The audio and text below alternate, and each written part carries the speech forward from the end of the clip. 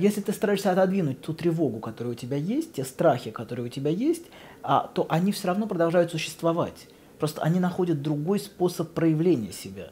То есть те психосоматические заболевания, которые ну, в последнее время очень активно исследуются в медицине, они очень часто, это очень часто а, ну, как бы проекция всяких психических проблем на тело. То есть человек, человек который отказывается, отказывается и отрицает отрицает э, проблемы, которые есть в душе, они начинают находить другой язык выражения, другой способ выражения. Это могут респираторные заболевания, это может быть сердечные заболевания. Очень часто сердечные заболевания, кстати говоря, могут, могут быть связаны с, с переживанием вины. Поэтому очень важно, очень важно иметь мужество внутреннее и смелость сталкиваться с теми чувствами, которые есть, сталкиваться с собственной ограниченностью, потому что а, это одно из самых болезненных вещей, это понимать, а, понимать, признавать собственную смертность. И если, например, а, женщина не может смириться с тем, что она, ну, что ее жизнь заканчивается, она будет чрезмерное внимание уделять детям, например. То есть она будет все время думать о детях, дети будут центром ее жизни.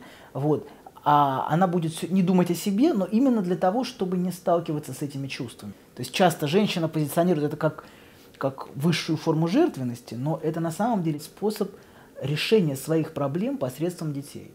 И это огромная нагрузка на детей, с которой они очень часто не справляются. Вы спрашиваете меня, чем мне заткнуть эту тревогу, если не детьми?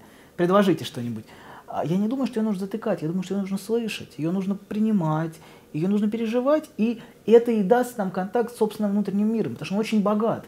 Но наша тревога мешает нам углубиться в, сам, в самого себя, в тот внутренний мир, а, в те возможности, которые там есть, в те потенциалы, которые у нас есть и которые совершенно не реализованы. У мужчины это часто тоже большая тревога. Он чувствует, э, что его креативный потенциал, он как бы начинает уменьшаться. И часто это отрицают а, в современной европейской культуре, но и в нашей культуре а, посредством, посредством сексуальности. То есть мужчина должен доказывать себе, что он еще ого-го. То есть он доказывает, что он молод, что он еще в силах, поэтому он уходит от жены, и поэтому, например, он, он, он пытается таким образом отрицать.